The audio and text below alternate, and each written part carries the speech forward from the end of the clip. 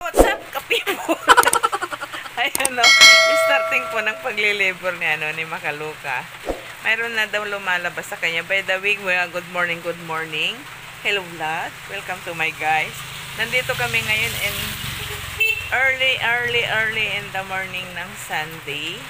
7 o'clock. Pero, tulad ng kasama namin kayo kahapon na nagpunta at nakipag-appointment sa isang ah, midwife, Ayan.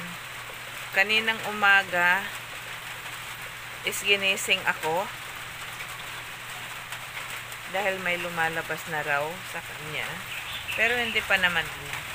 Yung sumasakit-sakit lang yung ano niya. Alam niyo na, saan ang masakit?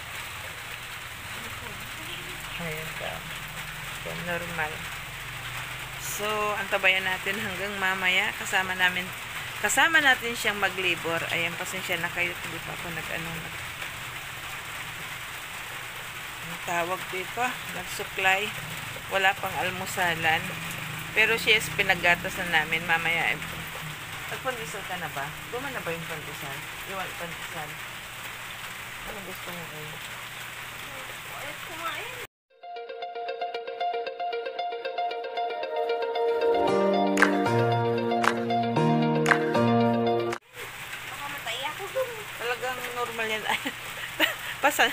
Pasintabi po sa mga kumakain. Takot, takot siyang kumain. Baka daw matae. Ayan po.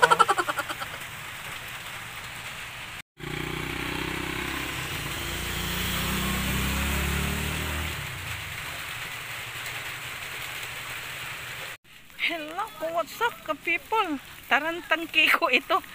Ayan, nandito tayo, nagbabalik tayo as usual sa bahay kubo ni tatay. Kasi hatiran natin siya ng prutas niya at sampalok. Dahil mahina pa daw siya.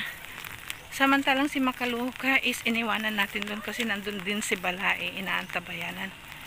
Kaya bababat. Diyos. Balik tayo. Baba tayo kasi ayan o. Dito tayo sa ano sa harapan ng bahay kubo ni tatay. Ayan. Oh. Inayos ko muna yung prutas niya lahat-lahat. Ngayon ay nag-aaway na kami tungkol tungkol, tungkol sa atis. Kasi yung pinitas niya is ano pa eh. Ano tawag dito? Mura pa. Pero pinahihinog niya.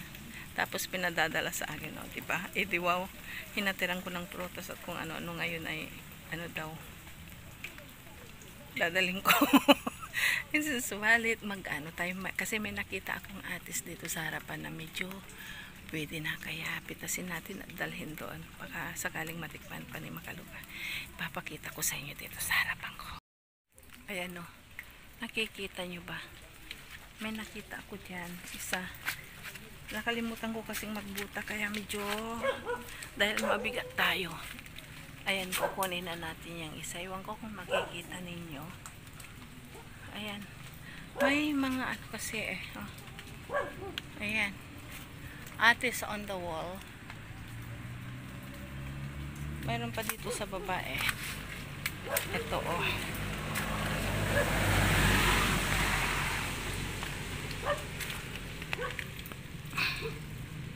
Kaso nga lang may ano. May sira. Tanggalin na natin to. Kasi hindi na rin pwede. Ayan pa, oh, yung mga ates. Ayan natin, ha? Ayan. Ayan pa.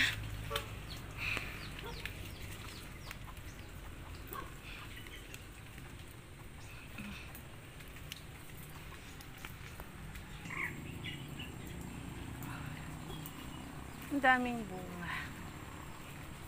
Kaso nga lang, hindi pa naman ata ready to harvest eh. Ayan oh. Nakikita nyo ba?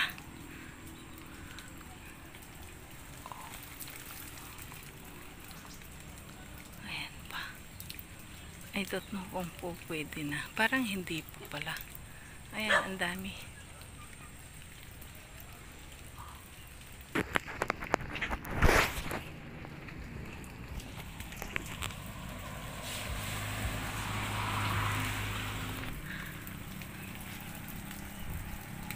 ito. Pwede na ito. Ano? Malanggam siya. Ilapag natin dyan. Are. Ayan.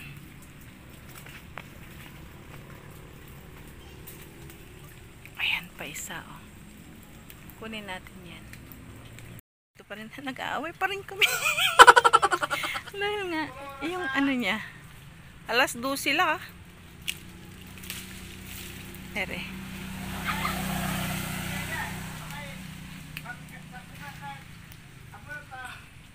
Eh, nagsisigawan. Ga- Ganyan talaga ang ano naming mag-ama. Karinyo namin. Nagsisigawan kami. Isipin nyo na lang yan, ha? Kasi nga po ako ipanganay at siya ang aking kapatid. ang aking ama ay baliktad na. Siya na ang aking anak. Kaya, ang daming pasaway na dapat ituwid sa kanya. Ayan. Mayroon pa tayo dito. Kuha tayo ng plastic yan sa ano ko ba. Bago tayo umuwi. Kasi actually, hindi pa naman kami nanananghalian. Siya lang muna ang inaanak ko. Pagkatapos ng aming Zoom meeting. Ayan. Medyo kampante ako kay Makaluka, kay Buntis. Kasi andun si Balae na nag-aalaga ngayon sa kanya. At ano lang naman eh. Hindi pa naman ano parang paudlot-udlot pa. Wala pang sign na ano, yung wala pang dugong lumalabas. Ayan. Sungkitin natin yung isa rito. Panungkit na yun ang kukunin natin. Ito. Kasi nga, ito oh. Ayan. Iwan ko kung nakikita ninyo. Ayan, ayan.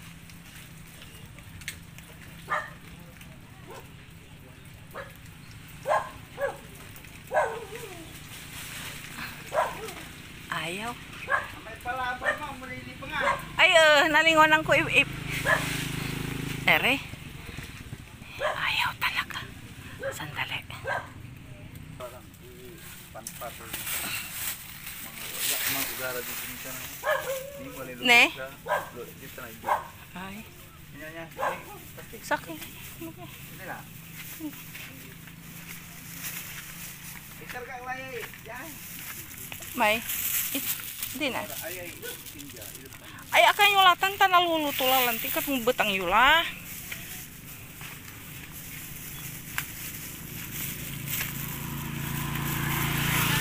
Ito kunin natin ito. Nakalima tayo.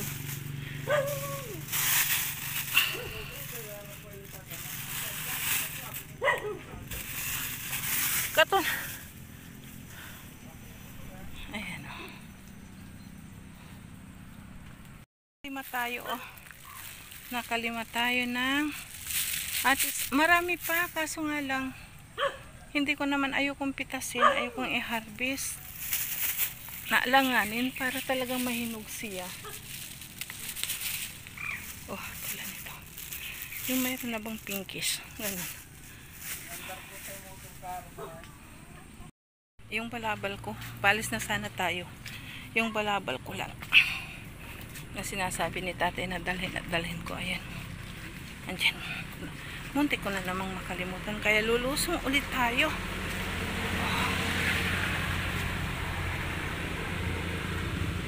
Ayan.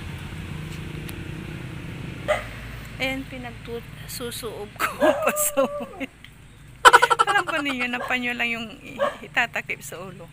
Haba, eh, di mo uli siya. Ay, ninyo, hinahay blood ako, tinitiis ko. Eh, sabi ko, magpalit siya ng ano, magpalit siya kumuha ng kumot. Kaya hindi muna tayo alis hanggat hindi natin naobserbahan. Kasi matanda na nga, baka hindi niya makayanan ang init ng suob, di ba? Mainam nang nandito ako, kahit na ako'y nanginginig na sa gutom, sa totoo lang. Tingnan natin, pakita ko na lang sa inyo. Pasok tayo sandali sa loob. Yung papaya natin na itinanim, oh, nagpubunga na siya. Pero, papasok tayo ulit rito. Tingnan natin muna siya. Pagka nalukasan, On. Mm. kaya kaya kaya putang. Singlo. Kaya kaya putang. Uh, iya raw yun, oh. Yun. Uh, ano lalamot? Yun, arawin eh. Ay, un, un, Susungap. mm. Ah, may ng...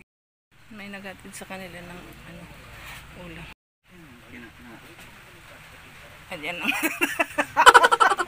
si Kweko. Kaway ko palagi yan. Nag-anyong pa, nag, nag-anyong sa'yo.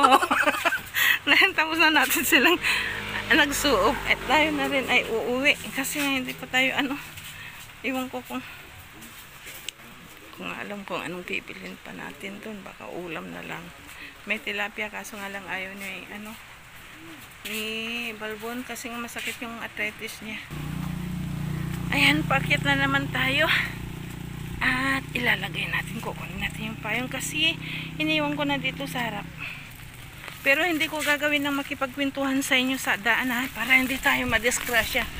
Tulad kahapon, muntikan tayo talaga nadali ng kotse rito. Kaya kita-kita na lang tayo sandali sa bahay. Ito na muna, ito na muna. Mahirap na. Pa tayo madali, wala na tayong may vlog. Kaya nga maya-maya uli. Ng bahay, nag-ano na tayo. Pero, kasi bumili tayo ng bangus para kay Balbon. Tapos gusto ko ng pagpet para lumakas ang ating tuhod-tuhod. Hindi ko alam kung kailan to ako. Pero lahat iluluto natin kasi nga si Balbon is takot na sa tilapia gawa ng mataas ang kanyang uric. Tayo ay pakpet naman. At ito yung sitwasyon ni Makaluka ngayon during her labor time. Which is, kinakausap ko yung apo natin sa loob ng tiyan na pwede kahit ano, ah, huwag lang sa gabi para hindi kami manervyos lahat. At mas mainam pag maliwanag, di ba? Pagka ko sa hospital at kung ano-ano. Basta sabi ko, apo, labas ka araw. Eh, ito muna ipapakita ko sa inyo kung ano naganap dito sa harapan ko. Babe, ayan, nagmamahal din kay Makaluka yan. Plate. Oo. Ayan naman siya. Dahil nga tag-ulan at tamang-tama, si baby natin ay gustong makilala si Kiko. Kaya, Gusto mo swimming. how's your feeling? Tatawa-tawa pa eh. Kaya, antay natin si baby na ang bungwelo. Magluluto tayo, mat magpapakbit ako. Gusto ko ng kulay talaga, pampalakas ng ano, pampalakas ng resist- resistensya at pampahaba ng buhay. A few days later. Tayo. Pasensya na nakalimutan ko na ko kayong balikan kahapon ba yun? But ilang beses na tayo nakabalik sa sa bahay ko kasi kinukumusta ko yung sitwasyon ni tatay at ngayon ay pina-check up na dahil mababa naman ang kanyang ano ah, blood sugar. At ang aming inaalagahang pasyente is kararating lang din kasi nagpa-check up sa OB-GYN at kailangan ang suggest ang ano ng ah, suggest ng doktor is magsisiken ultrasound siya dahil baka ano daw ano Baka. Baka pumupo yung bata. oo baka ma overdue kasi yun according to ano ah, ultrasound niyang una is ah, September 10 ang kanyang ano ang kanyang due date but hindi siya sigurado sa pitsang yung binigay niya? Pero ngayon ay na- pina anong ginawa sa'yo? Ay ina ba? At nakabuka na rin kaya nag-aantay lang ng time. But it may be tomorrow Tuesday is yun ang gagawin magpapa-ultrasound na siya for the second time. Kasi ngayong araw is ah, sarado lahat ng klase ng ano. Yun po yung ah, report namin. At pinagluto ko po sila puro at at ipapakita ko na lang yung pagkain nila iyon at gutom na gutom si ano si Makaluka which is ang inihanda ko lang sa kanila na lunch ni Bunso ay kanton na may native na egg para sa kanya dahil yun ang suggestion. Ano, kain daw. Ito rin isa. Nagawa mo. O, invite ka naman. Kain. Ayun, kain. Yan naman ang aking. Ayan. Pero yung isang boiled egg dyan is native para kay ate. Mainit. Kasi malasado yung be. Sige na. Hmm. Yan ang maganda. Huwag amuyin. Ayan, kain po tayo. Lunch time dito sa amin. Thank you po. Isipin nyo na lang sa Pinoy. Kanton na nga, noodles na. May rice pa.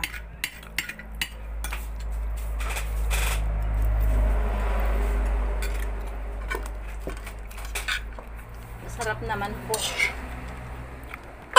Naubusan na po kami ng budget. Akin na ba? Di ba may patalasas na ganun? Akin na ba? Sa alasada eh. Alasada eh.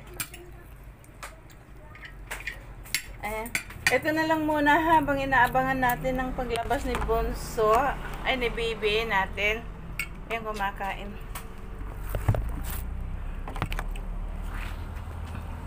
Paliyad-liyad siya.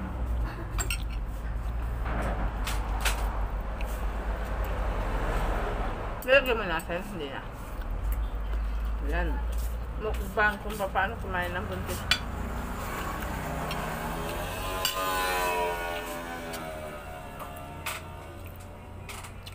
So, buntes! Parang siwig muli na eh. Ito na muna po yung i-update namin nangyayari sa buhay buhay para habang inaabangan natin ang apo nating sa kanyang paglabas. Ayan, late na po kami sa lunch kasi si tat- tatay din po is ano siya, under observ- observation po siya.